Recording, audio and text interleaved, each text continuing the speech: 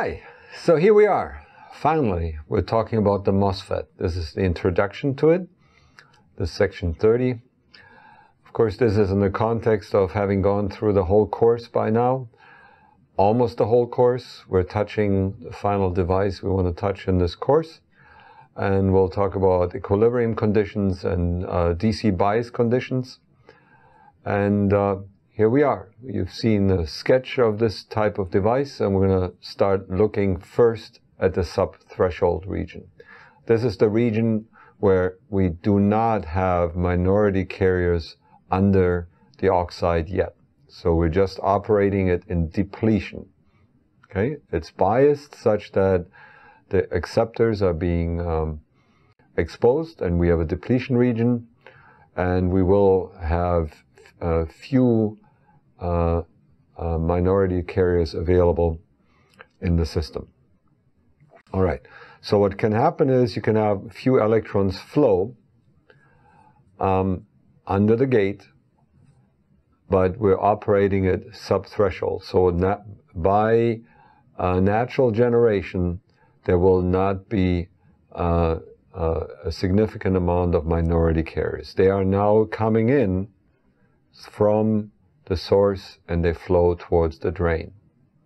Okay, here we go. So this is now becoming a, a multi-dimensional device. It's not a perfect uh, 1D device anymore. And we'll be spending a lot of time on plots of surface diagrams trying to symbolize the effect of a 2D device. Okay? So, if we don't have a significant gate voltage applied yet, what you, and if you look along this device in this direction here, you can basically see that you have an N plus P N plus region from source through the uh, body and then again to the drain. Okay? So let's assume we have no voltages applied like this. Okay? And you just have band bending like this. So you basically have again PN diodes that are back to back uh, but in the classical sense, these diodes are quite far away from each other. So they're not like the BJT where the junctions are pretty close, right? So in the olden days, this would be a pretty long distance here between source and drain. So it does look like two PN junctions, but remember this distance is uh, quite far away and now it's being done in 2D. Okay, so this device, um, so here is um, uh, we talk about the width of this transistor. So we're looking down into the depth. So we're looking down from here. If you did this in 3D, um, the device would look like this, right? Okay. So we're trying to get an understanding of how the potentials uh, uh, flow and how the electrons, uh, well, how the potentials behave in this two-dimensional representation. We're typically looking in this direction and in this direction, okay? Which here on this sketch, that is x, and this is y, okay? And then there is a, a width w of this overall system that's the left over z direction, we consider that to be infinitely large uh, for all uh, calculations, meaning there's no variations, spatial variations in that direction, and we just multiply by some width, because the transistor ultimately will have some width over which the electrons will flow. Okay, so for an electron, say sitting in the source, they will go up and down uh, like this, and it's uh, again by um, um, just p-n junction-like transport. There is no uh, voltages applied in the system yet, right? So you have a uh, uh, um, conduction and valence band that are distributed like this, source and drain. And now you can ask yourself, what if you apply a gate voltage to this uh, structure? So you apply a voltage here to this gate. Now, that means you bend the bands in this dimension here, okay, into the depth of the semiconductor. into the depth x here. So you're building in a ramp, so to speak, closer to the gate, you lower the barrier, okay? So you lowered the barriers for electrons to flow like this, and if you compare the two, this barrier for electrons got lowered, okay?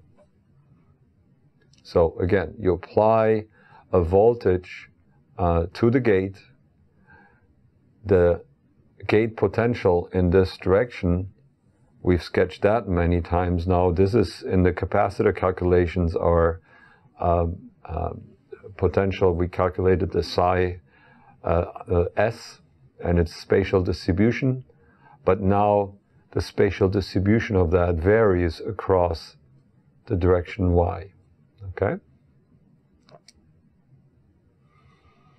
The background gate here is typically held at a fixed potential. Okay. Again, here, this is how we calculated the MOS capacitor. Okay. Now, if you squint a little bit and forget about this being a 2D type system, what you will remember, this looks like a PN diode uh, in one direction. And if you look overall, it looks like a BJT where you have an injection of carriers from diffusion. You can calculate the boundary condition, and if you had an overall voltage applied and you don't have back injection from the other side, the carriers will decay, and you will have um, thermal flow, diff uh, diffusion flow uh, induced by this uh, PN junction. Okay, so it kind of starts. To look, if this is really short, it looks like a BJT. If it's long, um, you have diffusion uh, coefficients uh, in the system. If you apply a voltage here, like what we did here, you will drive the currents in a particular direction. Okay. Good. So, in the subthreshold region, when we are injecting carriers like a PN diode, what do we expect? Well, uh, the drain current will be uh, the charge at the beginning of the channel and at the end of the channel divided by some channel length. This is old stuff now, right? You've done this now multiple times with the diffusion coefficient. Um, this channel will have a certain inversion uh, uh width, okay? And the, the transistor has an overall width, and we can multiply those to get a um, the charge, and we calculate a charge density, an expression to something that is looks very familiar to you now, except we plug in here the surface uh, potential psi s as a as an energy level. Okay, so other than that, you've seen this so many times now, and you can plot the increase of current again, and uh, it looks like a diode current, right? uh, forward bias diode current. And um, this is called subthreshold. And uh, what are its characteristics? Well, it goes as uh, uh KT with a beta in here, right? And it has some uh, body coefficient, a modulation that we had discussed. So the, the gate voltage is not directly translated in the surface potential uh, here, but it's modulated by the factor of M. So the slope between those two of the scaling is not exactly uh, the same, but the subthreshold slope is 60 millivolt per decade, and that has purely to do with uh, 1 over kBT at T equal 300 Kelvin. You can calculate the slope and you will find it at 60 millivolt per decade. That's the best the absolute best this kind of transistor can deliver. Okay? And the slope is in practice a little bit uh, directed in this, uh, this way due to the body coefficient in these longer transistors. Uh, in nanoscale transistors, the non-ideality is from, from some other effects. But this slope is the best, turn on is the best you can potentially expect from a transistor like this. Again, ideally, you would love to have a switch that turns on like this, right? With very little voltage, you can turn this thing on and off. But the fact in these devices is it now turns on at 60 millivolt per decade, the best possible way in this kind of configuration. Okay, so then uh, eventually you hit threshold and um, get to high injection and the, the current tapers off. And we'll talk about that as well. Okay?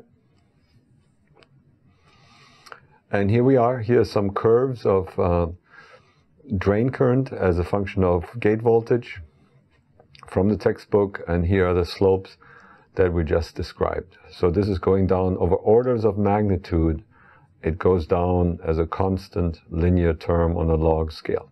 Okay? Okay, remember the definition of the body uh, coefficient. It has to do with a, a parallel capa uh, series capacitance of the oxide capacitance and the semiconductor capacitance, and that semiconductor capacitance is variable as a function of gate voltage depending on the distribution of charges you have in the system.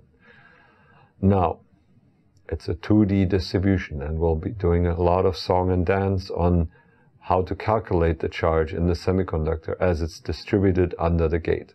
In the MOS device, it was a perfect 1D case. Now we're having uh, potentials applied across the capacitor, so to speak, in the transverse direction to the plates, so to speak, here in these directions. So our capacitor is spatially varying. Okay. Again, here, um, is the definition. Just recall it's uh, based on this uh, uh, series capacitance and it contains the, the ratio here, Ks over kappa S over um, kappa oxide and it goes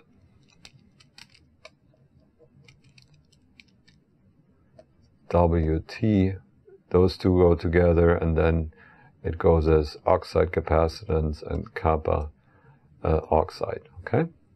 So you have two series capacitors and the ratio between these coefficients can vary as a function of gate voltage.